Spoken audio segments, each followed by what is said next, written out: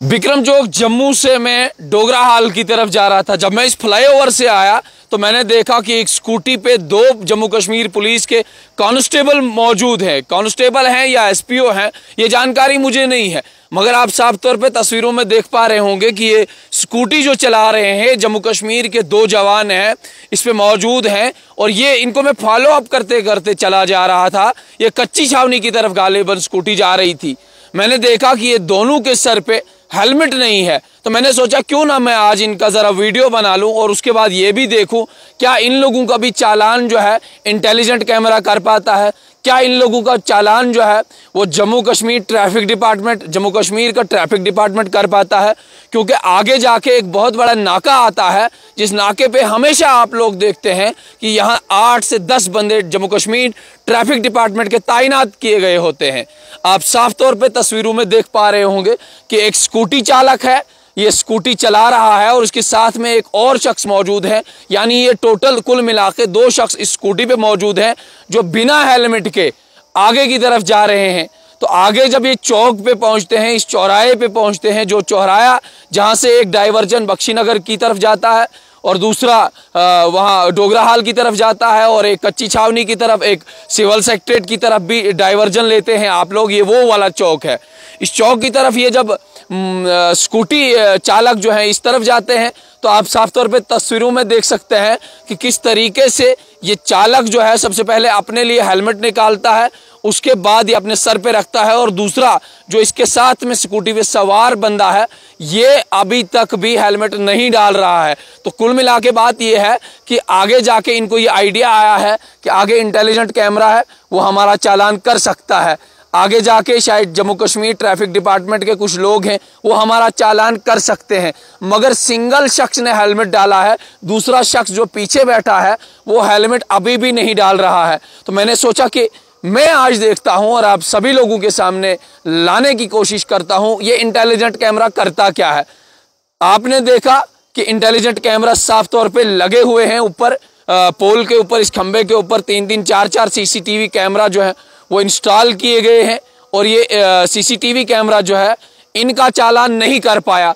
अब क्यों नहीं कर पाया, ये बात मैं आपको पहले बता देता हूँ। मैंने लगातार तीन दिन से, तीन दिन से एम परिवहन साइट पे इस स्कूटी का नंबर चेक किया। उसके बाद मैंने कार इन्फो पे भी इस स्कूटी का नंबर चेक किया और मैंने टोटल नंबर अब चालान देखे तो एक सिंगल चालान भी इस स्कूटी का अभी तक शो नहीं हो पा रहा है। जब कोई आम ट्रैफ़िक जब कोई आम शख्स जो है किसी भी ट्रैफ़िक का उल्लंघन करता है ट्रैफ़िक के कवानीन का उल्लंघन करता है, उसके वायलेशन करता है तो उसको चलान होता है।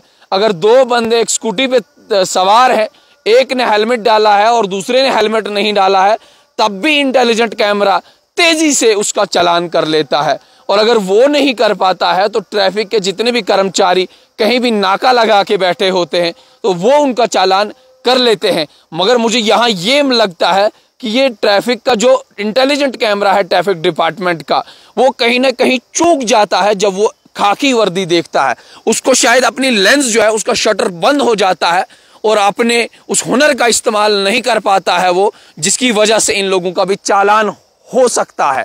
मगर आज जब आप सभी लोगों ने देखा, किस तरीके से ये दोनों लोग जो हैं, सवार थे स्कूटी पे और तीन दिन से मैं इस लगातार इस स्कूटी के नंबर को देख रहा था, टटोर रहा था कि कहीं ना कहीं आज नहीं, कल कल नहीं, परसों इस स्कूटी का चालान हो सकता है क्योंकि इंटेलिजेंट कैमरा लगे हैं।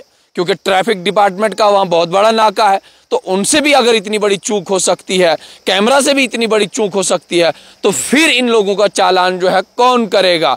मगर आप सभी लोग जानते हैं कि जब हमारी गाड़ी, आपकी, मेरी, हम सब की गाड़ी वहाँ से गुजरती है तो इंटेलिजेंट कैमरा सीट बेल्ट को भी पहचान लेता है।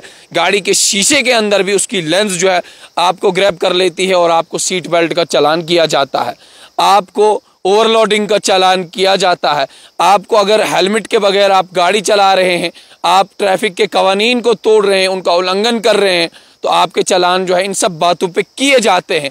मगर ये सब क्या मामला है, ये सब क्या मुआजरा है? हमें इस बात का अभी भी अंदाज़ा नहीं है कि हम चार दिन से लगातार इसको फॉलो अप कर रहे हैं, इसको देख रहे हैं कि आखिर ये क्या मुआजरा है कि खाकी वर्दी डाल के फिर कैमरा जो है, या तो अपनी लेंस बंद कर देता है, या कैमरा जो है इनको नज़रअंदाज कर देता है, क्योंकि कैमरा भी अपने बस से काम नहीं करता।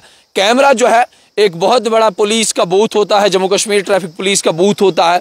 एक रूम इनके लिए दे दिया गया है और वहाँ से पूरा अंदर सॉफ्टवेयर इनके पास बने हैं। इनके पास कंप्यूटर्स दिए गए हैं। उन कंप्यूटर्स के ज़रिए ये देख पाते हैं किसने सिग्नल तोड़ा है, किसने हेलमेट नहीं पहना है, किसने सीट बेल्ट नहीं पहना है। और जिसने भी ये सब चीज़ें जो है, इन लॉ की वायलेशन की, उसका चालान जो है अंदर बैठे बैठे ये लोग करते हैं। मगर शायद जो अंदर बैठे बैठे लोग जो थे उन्होंने भी जब देखा कि ये खाकी वर्दी पहन के है, ये इसका चालान नहीं होना चाहिए। और इन्होंने जब डाइवर्जन ली कच्ची छावनी की तरफ़ तो मैं डोगरा हाल की तरफ़ जा रहा था तो मैंने वहीं अपना वीडियो जो है, वो स्टॉप कर लिया। और उसके बाद मैं आज तक लगातार तीन दिन से इस स्टोरी को फॉलो अप कर रहा था, इसको देख रहा था, क्या जम्मू कश्मीर का ट्रैफ़िक डिपार्टमेंट इस बात को लेके ज़रा गंभीरता से देखेगी इन लोगों ने चूक की है और हम इनका चालान करेंगे। मगर इनका चालान जो है मुझे अभी तक न कार इन्फो पे दिखाई दे रहा है, न एम परिवहन पे दिखाई दे रहा है। मगर जब आम जनमानस, आम जनता, कोई भी ऑफिसर शायद वहाँ पे जाता है तो उन सभी लोगों का चालान होता है। मगर इन लोगों का चालान क्यों नहीं हुआ? ये सवालिया निशान ट्रैफ़िक डिपार्टमेंट पे खड़ा होता है। फ़िलहाल आप मुझे दीजिए इजाज़त, जुड़ते रहिए स्ट्रेट लाइन के साथ।